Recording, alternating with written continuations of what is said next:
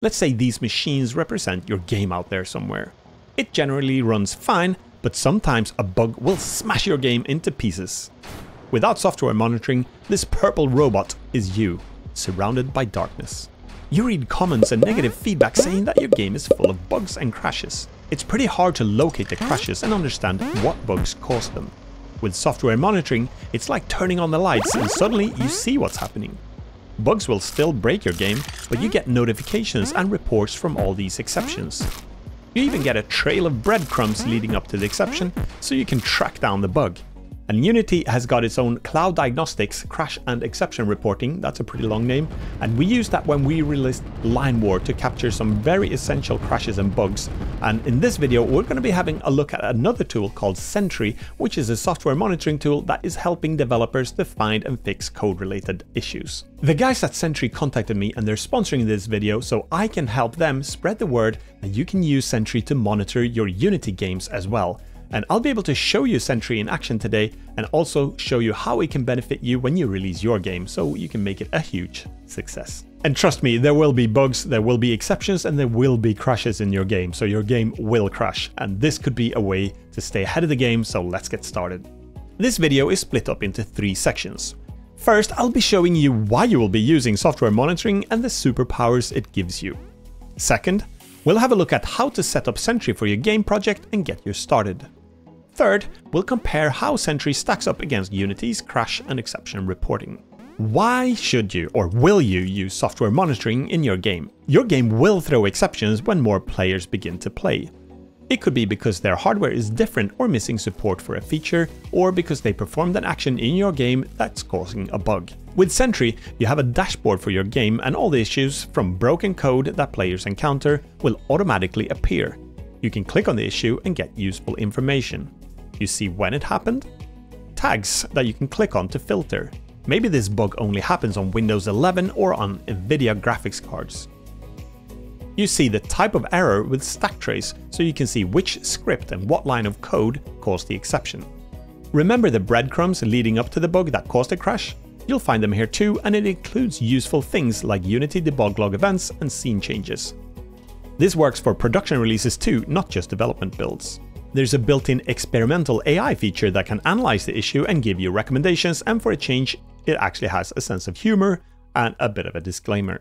Crashes and exceptions in Unity games are often related to null references.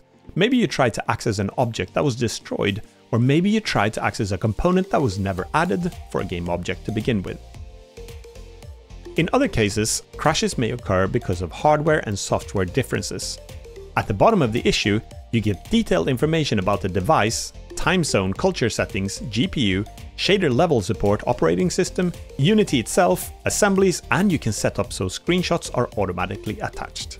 This information will help you narrow down bugs that are caused due to device and software differences, which can be a pain on PCs and mobile devices because they're also different with different components from different manufacturers. Maybe your game assumes shader 5.0 support or a certain amount of video memory, Maybe you use compute shaders that are not supported by the graphics card, or your texture atlas resolution is too high for the device. This information helps you understand the bug, why it occurs, and how to fix it. At the top of the issue, you can go directly to the attachment or to the tags so you can see the number of occurrences for each tag, and they are clickable so you can filter by tag. If you're working in a team, you can assign the issue to a team member. You can archive the issue or set it as resolved in a particular release. As you push out updates of your game, you can see the number of occurrences reduce over time. In addition to issues with software monitoring, you can also gather user feedback, track performance, receive alerts, and configure dashboards. Now let's have a look at how to set up Sentry for your game. Go to sentry.io and sign in. You can create an account with a password or use Google, GitHub, or Azure DevOps to sign in. Click on New Organization and then set your organization name pick a data storage location, agree to the terms, and then set your email updates. And continue. Once you've signed in, go to Create Project and click on Unity. You can decide an alert frequency and set a project name. Then it's time to make the Unity integration. I made this little platformer game for this video. It's a good candidate for software monitoring because I'm sure it'll contain a bunch of bugs. Go to assetstore.unity.com slash packages slash tools slash integrations slash sentry dash 127333, or click on the link in the description and add the free Sentry asset to your assets. In Unity, and when your project is loaded, go to Window, Package Manager, My Assets. Locate the Sentry asset and download it. Then import the asset into your project. Once imported, you now have a Tools option at the top menu. Click on Tools, Sentry. You can use the wizard to connect your organization and project that you created earlier, or you can set it up manually. When you use the wizard, it will log you in through the browser, and you can select from the projects that you created on Sentry.io. You can decide if you want to go to the options, or if you're fine with the defaults. If we do look at the options, the important part is the DSN, which identifies the project that you're connected to. You might also want to go to enrichment and click to attach screenshot. Now let's test it out. I'll create a new game object in the root of the scene and name it Sentry Test. Let's also create a new C-sharp script and we'll call that Sentry Test. In the start method of this mono behavior, I'll write Sentry message and then in brackets and quotation marks we'll put hello from the game. The using Sentry statement might be included automatically at the top if you're using a recent version of Visual Studio, otherwise you'll have to write that manually. I'll save the script, and in Unity we'll drag the script onto the newly created game object. I also want this test message to include a screenshot, so I will go to Tools, Sentry, Enrichment and tick Attach Screenshot. Now I'll run the game, wait for a few seconds, and then stop it again. In the project on the website now, we have a new issue. I'll click on all issues and we can see hello from the game. If I click on the issue, we get some more details. The message itself and the breadcrumbs leading up to it being sent, which isn't many in this case. Below we see specifications of my computer and that I couldn't afford a GTX RTX 4090. At the bottom we'll find a link to the attached screenshot, so let's preview it. Okay, so we can send messages from the game. That could be useful to notify yourself under certain conditions if you need to collect information under certain conditions. That's a lot of conditions. But what about exceptions and actual bugs? Well, let's also make it a little bit credible. Let's say when the hero's health is zero or below, I want to instantiate a tombstone at the player's location. In my script playerstats.cs, where I keep track of health, and this will be a bit of a dirty spawn of a tombstone from a health property, but sometimes you have to do quick and dirty stuff so you can regret and fix it later. So if health is less or equal to zero, then we want to instantiate the tombstone prefab at the position of transform.position and with quaternion.identity. I press Ctrl period while hovering over the tombstone prefab and select generate variable. We need to change this to game object instead so we can reference the prefab and we need to expose it so we can configure it in the inspector with serialize field. You can also change it to public, but serializing a private field is the preferred way to do it so it's not visible in any external code. Perfect, let's play. I play like a noob and die and instead of a tombstone we get an error. Unassigned reference exception. We also get a bit of a funky behavior in the game, because after you hit broken code, you cannot rely on anything working properly from that point onwards. Now we'll refresh the issues on the web, and here we see the Unity Engine.unassigned reference exception. If we click on it, we can also see a stack trace leading up to the event. In the update method, then the apply damage method, and then setting the health property. In this game, you'll die all the time, so it's easy to spot and fix the issue. But imagine if that tombstone only appeared if you died by a Reaper enemy on a Halloween weekend. The error would rarely occur and you would not know about it unless you used software monitoring. It's also important to know that the user has no idea what's supposed to happen. All they see is that the character is sliding around in weird ways when it dies. The screenshot that we configured to be included can also be helpful to give you an idea of what's happening. Let's fix this by jumping onto Copilot and generating a sprite for the tombstone. Then I used Krita to cut it out and save it as a PNG file, and then import it into Unity and create a 2D game object with a tombstone sprite, save it as a prefab and reference the tombstone prefab. And let's play again. Now the error is gone. The most common error of all in Unity games are probably null reference exceptions. They are similar to unassigned reference exceptions, but with less clear information. In the start method, let's add transform t equals null. And then we'll put some log entries. We'll do debug log. Let's test the, most common exception of them all. We'll do a debug log warning, brace yourself, and a debug log error, pull up, pull up. And then we'll do debug log t.position. Here we're actually trying to access that transform that's null at this point, so we cannot really read the position of it. We of course get the error and now on the web we can go to the null reference exception, we see the script and line of code where it occurred and the breadcrumbs that are neatly presented with severity level and colors. Now let's build the game and try it out. Unity logs to a local text file in appdata slash local slash company slash project. In the local Unity log files, you get the null reference exception and you also see the debug log entries, but you don't get the log level such as information, warning and error. With Sentry, not only is the information automatically collected and submitted, but it's also more neatly presented, easier to read, and it contains more detailed information. You can also add your own custom context and tags. For example, if we add int playcount equals playerprefs.hasKey playcount and then a question mark here, number one, colon, otherwise playerprefs.getInt playcount. So we're setting playcount to either 1 if it's never been set before, or we get it from the registry. Then we do playerprefs.setInt playcount, and then we'll increase the playcount by 1. And then we'll do Sentry SDK configure scope, and we'll set the scope to scope.setTag playcount and then if play count is less than 5, we'll set the span to 0 to 4.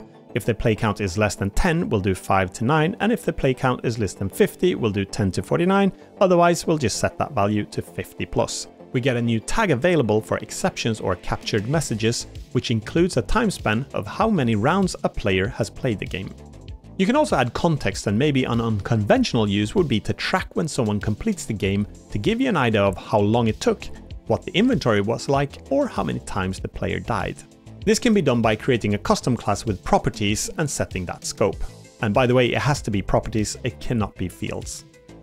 For example, we'll do class game completed details. We'll do a public string difficulty, we'll do a string time taken, and we'll do an integer for attempts, and we'll do an integer for score. And then we can do sentry sdk.configure scope, and we'll set the scope to scope.context, and we'll add that into game completed details and we'll create a new game completed details class and we'll set difficulty to hard, time taken to 42 minutes and 30 seconds, attempts 124 and score 590,400. These are just example figures of course, you'll collect this from the game itself instead. Now this might not be broken code, but you can use it to track significant events in your game and attach a screenshot and rich system data. Another feature in the web interface is that you can toggle between Unity editor and production environment if you want to focus on events that are happening in your game builds.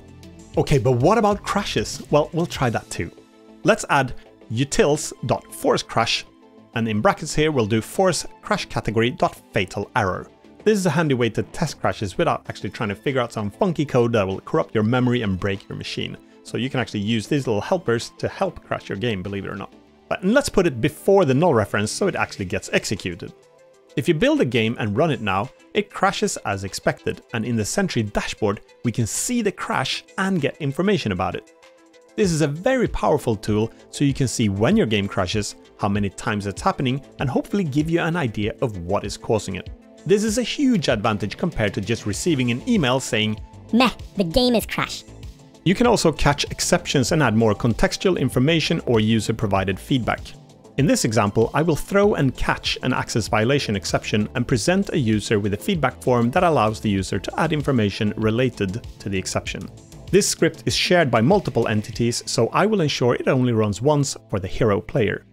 So we'll do if gameObject.name.contains hero, then we'll try and we'll throw new access violation exception Then we'll catch this and we'll make a reference to the exception with ex, and then we'll put var event id equals sentry sdk dot capture exception, and we'll reference that ex variable.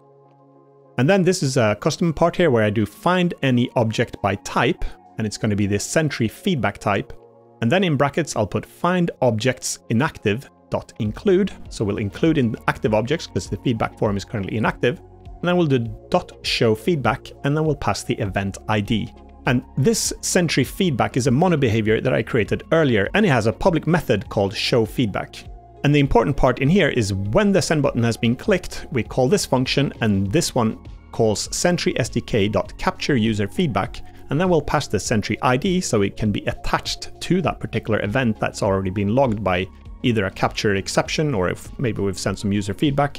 And then we'll also pass the email and feedback, and I'll grab that from the text input fields of the email input and the feedback input.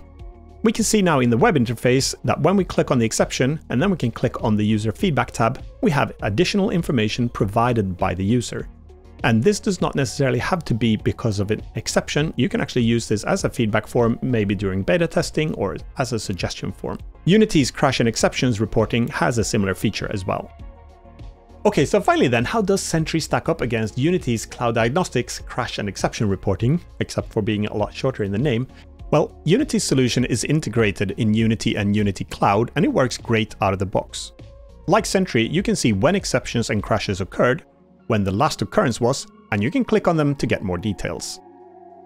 You get similar capabilities to show the stack trace, system information and metadata that contains information about the hardware and software. I think the big differentiator is that Sentry has more advanced filtering, customization and wide platform support. Both Sentry and Unity crash and exception reporting have free and paid tiers, where the paid tiers for Unity is included with your subscription generally. Sentry's developer tier is free and you get 5000 monthly errors, 1 GB of attachments and 30 days retention. Unity Personal, which is free, comes with free cloud diagnostics, which includes 25 daily crash and exception reports and 10 daily user-generated reports, which is about 1000 per month if we're gonna compare apples with apples, and 10 megabytes of storage with 7-day retention. Sentry have a team tier currently priced at $26 per month, which bumps it up to 50,000 hours and 90 days retention.